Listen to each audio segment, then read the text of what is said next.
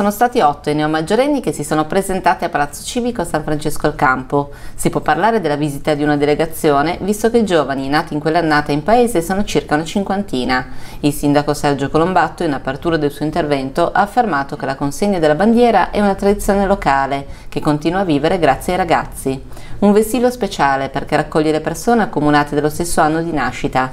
Il sindaco ha altresì rimarcato che raggiungere i 18 anni vuole dire assumersi delle responsabilità e che i doveri a cui dovranno sottostare, seppur inizialmente non molti, comporteranno un leggero cambiamento alla quotidianità.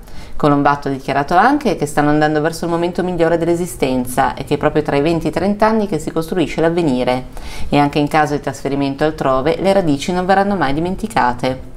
Quindi ha consigliato ai ragazzi di vivere bene questo periodo della loro vita, nonostante ci saranno dei momenti difficili e delle prove da superare.